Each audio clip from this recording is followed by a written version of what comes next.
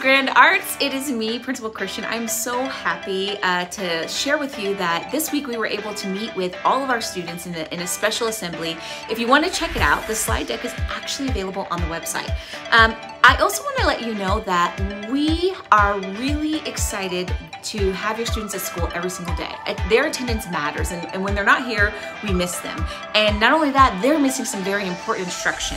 And so one of the things I want to let everyone know is that every morning we'll be opening our gate at 735. But uh, when the bell rings at 8.30, we're expecting every student to be in their seat in their first block class.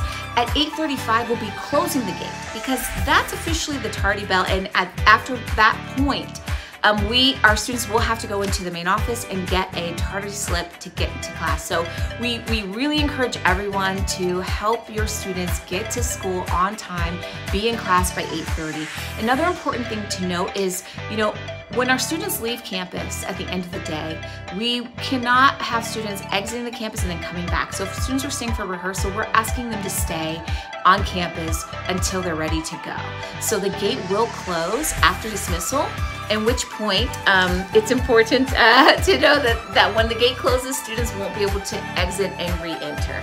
Uh, and then finally, I want to let you know that our campus will be closing at 5 p.m. every single day. Every day, we will ask that all families um, make sure that their students have a safe way to exit the campus um, and, and to get home and, and, and have a great evening. So thank you so much for everything you do. Thank you for your partnership.